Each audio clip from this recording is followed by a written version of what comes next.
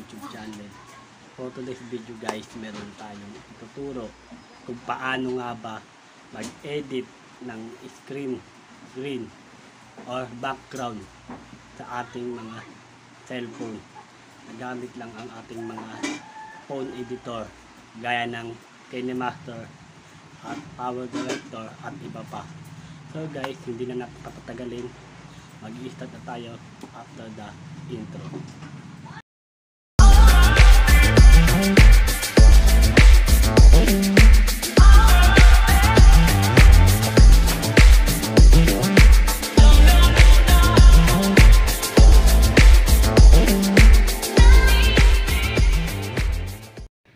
So yan guys, dapat mag-prepare ka ng colored paper na kulay green para sa iyong background. Then guys, pagtapos mag-create ka na ng iyong video. So yan guys, ito yung example ko. Kunwari, ini-explain ko yung helicopter kung paano lumipad. So guys, kumuha ako ng background. Yan guys.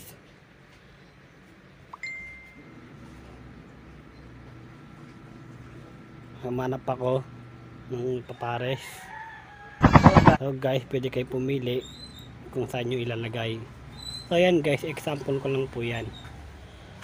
Para ipakita sa inyo kung paano nga ba ang pag-edit ng screen green o paggamit ng chroma key.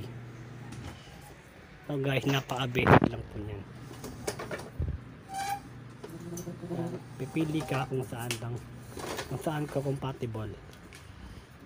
Pag napili mo na, saka mo na siya i-crop or i-edit. So guys, yung ganyan guys, pwede kayong mag-report sa inyong mga klase. Guys. So yung ganyan guys, pagtapos niyan, hanapin mo na yung chroma key. And then click yung ball pen. And then yung green, adjust yung color range. Yan, ah, adjust adjust lang. Tatansyahin mo lang guys kung okay na ba sa paningin mo yung pagka tanggal niya ng green. After that guys, play.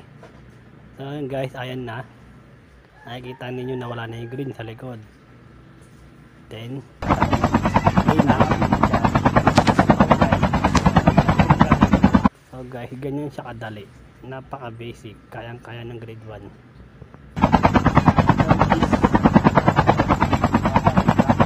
hindi lang po yung ginagamit sa pag edit ng mga video. Ginagamit din po siya sa mga action movie. Pinapalitan lang yung background nila So ayan guys, marami na naman kayo natutunan. At sana, huwag niyo kalimutan i-subscribe ang aking channel para lagi kayong updated sa aking mga YouTube video. So ayan na guys, magtatapos na tayo. Stop na natin. Maraming maraming salamat sa inyo. Huwag sanang maalimot mag-subscribe at i-share ang video na ito sa inyong mga tropa at friends nang hindi na kayo naiistorbo kapag sila ay nagtatanong sa inyong video. Bye bye guys, paalam.